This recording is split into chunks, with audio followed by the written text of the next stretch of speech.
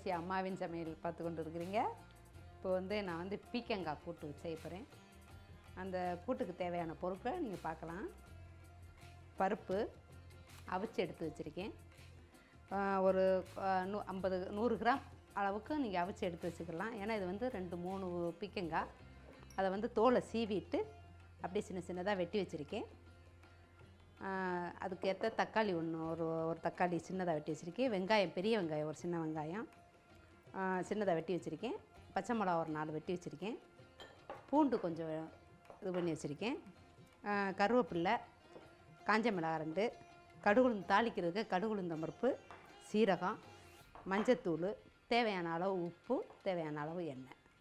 இப்போ அது செய்முறை எப்படின்னு பார்க்கலாம் வாங்க. இப்போ வந்து இது வந்து நீங்கள் எண்ணெயில் தாளிக்கலாம். பிள்ளைங்க வச்சுருக்கிறவங்க நெய்யில் தாளிச்சிங்கன்னா இன்னும் பெஸ் நல்லாயிருக்கும். இது வந்து கூட்டை வச்சுட்டு நல்லா நல்லா கரையை விட்டுட்டு அதை வந்து நீங்கள்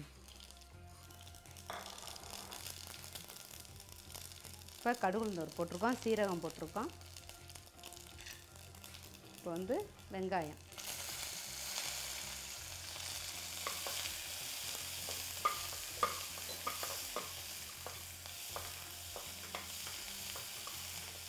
வெங்காயம் கொஞ்சம் பொன்னிறமாக வந்த உடனே பச்சை மிளகா போடுங்க. பச்சை மிளகா வந்து உரப்புக்கு தேவையான அளவு போடுங்க. பிள்ளைங்களுக்கு கொடுக்குறீங்கன்னா பச்சை மிளகா ரொம்ப போடாதீங்க. கொஞ்சமாக போடுங்க. இப்போ வந்து நம்ம வந்து இதோட சேர்த்து சாப்பிட்றதுக்கு வந்து நீங்கள் வந்து புளிக்கறி அதாவது வெங்காயக்கறி இது வைக்கிறதுனா அது உரப்பாக இருந்தால் இது உரப்பை குறைச்சிக்கோங்க. இல்லை இது கொஞ்சம் ஏதாவது ர- சாம்பார் இதுகளோட சேர்த்து சாப்பிட்றதா இருந்தால் இது வந்து கொஞ்சம் உரப்பு போட்டுக்கோங்க. இப்போ வெங்காயம் பச்சை மிளகா வதங்கிருச்சு. இப்போ கருவேப்பில்லை ரெண்டு போட்டுக்கிடுவோம். கருவேப்பிலை போட்டிருக்கு. மிளகா வந்து நான் சொல்கிறது தான். தேவை உரப்பு வேணும்னா போடுங்க. மிளகா இல்லைன்னா போடாதீங்க. நான் ரெண்டு மிளகா தான் போடுறேன். காஞ்ச மிளகா. கூட்டுக்கு வந்து கொஞ்சம் உரப்பாக இருக்குன்னு இது வந்து பெரியவங்களும் என்ன செய்யணும் வெள்ளை சோறு வடிச்சுக்கிட்டு கொஞ்சம் நெய் நெய் போட்டு இந்த பருவ கூட்டு எடுத்து போட்டு அப்படியே பெசரி சாப்பிடலாம். அதோட ஊறுகாய் அது அப்பளம் வச்சுக்கிட்டு சாப்பிட்டா கூட இதற்கு வேலைக்கு போகிறவங்க சீக்கிரம் நம்ம குழம்பு கறி எதுவும் வைக்க முடியலை அப்படின்னு சொன்னால் இதை வந்து கொஞ்சம் தண்ணியாக வச்சு சோறு வச்சுக்கிட்டு சாப்பிட்டிங்கன்னா நல்லாயிருக்கும் நான் சொல்கிறது பூரா உங்களுக்கு சிம்பிளான பல பதார்த்தங்க தான் சொல்லித்தர்றேன் ஏன்னா சிம்பிளான காய்கறியை சீக்கிரம் வைக்கிறது மாதிரி தான் சொல்லித்தர்றேன்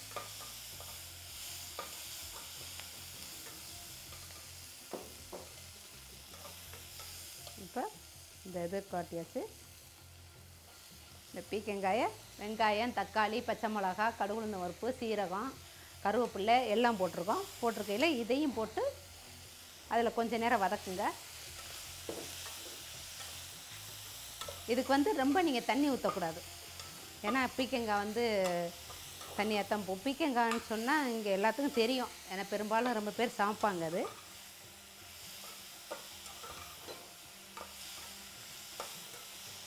இந்த காயை கொஞ்சம் மஞ்சத்தூள் போட்டுக்கோங்க.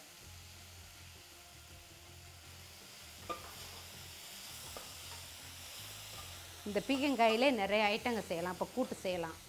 அப்படி இல்லைன்னா விரட்டலுக்கு வந்து வேறு விதமாக செய்யலாம். இல்லைன்னா பொரிக்கிறதும் செய்யலாம் அதில். பீக்கங்காய். இப்போ உங்களுக்கு நான் கூட்டு தான் வைக்கிறேன். பார்த்துக்குங்க. தக்காளி இருக்கிறது போட்டுடலாம்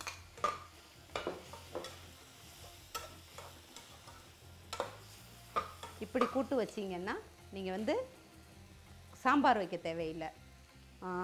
சோத்துக்கும் க- கூட்டுக்கும் போட்டு பிரட்டி சாப்பிட்றதுக்கு ஏதாவது வேறு ஏதாவது பொறிச்சு வச்சுக்கிட்டு சாப்பிடலாம்.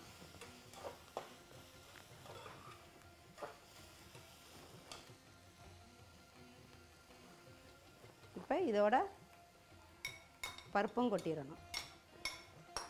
பருப்பு வந்து அவிச்சு வச்சுருக்கோம்ல அந்த பருப்பை அரை வேக்காடை அடித்து வச்சுருக்கணும். ரொம்பவும் கரையை விட்டு அவிச்சு வச்சுருந்து இதில் போட்டிங்கன்னா ரொம்ப கொல கொலன்னு போயிடும்.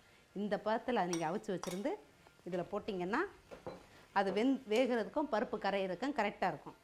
இப்போ வந்து உப்பு தேவையான அளவு.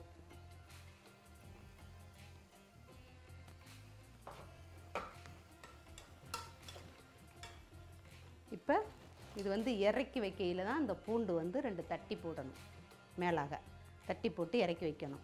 அதருதி இது கொஞ்சம் ஒரு அஞ்சு நிமிஷம் இதை மூடி வச்சு விசில் வரைக்கணும். கொஞ்சம் நேரம் தண்ணியை ஊற்றி லேசாக கொஞ்சம் ரொம்பவும் தண்ணி ஊற்றக்கூடாது இது தண்ணியாக போயிடும் நீங்கள் கொ சோத்தில் போட்டு பிரட்டி சாப்பிட்றதுக்குன்னா இன்னும் கொஞ்சம் கூட தண்ணி ஊற்றிக்கலாம் இந்த அளவு போதும் உங்களுக்கு. இப்போ இதை வந்து மூடி வச்சுருவோம். மூடி வச்சுட்டு ஒரு அஞ்சு நிமிஷம் சென்று அப்புறம் பூண்டை தட்டி போட்டு இறக்கிட்டா பீக்கங்காய் கூட்டு ரெடி